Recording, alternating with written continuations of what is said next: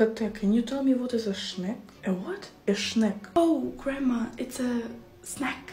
Not schneck. Snack. There is just a very big microwave in there. Do you want anything from it? No, thanks, grandma. I'm good. Are you sure? I think they have cookies in there. Yeah, yeah, yeah, I'm sure.